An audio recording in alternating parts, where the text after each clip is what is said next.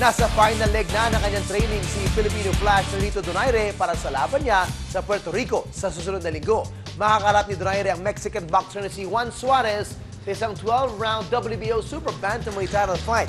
Nasa Las Vegas pa ang Team Donaire kung saan magaganap ang kanyang training camp.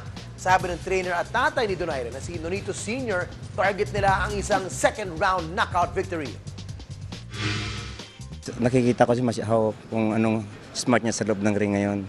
Madulas, tsaka malakas. So, nandun na lahat yung kailangan na gawin niya sa loob ng ring. alam ko yung style ng, ng kalaban ko but most of all may, may game plan na po kami na nagagawin uh, inside the ring. I'm very excited but most of all nagpapasalamat ako for the for the opportunity you know for for this opportunity that uh, it's time to rise uh, spiritually physically mentally um, as well as yung ano ko yung stamina ko yung reflex speed know, sa bilis, sa, sa, sa lakas, um, lahat-lahat nakikita ko na and um, and nasa akin na yung yung mga yung mga yung mga traba yung ginawa ko in in in the ring.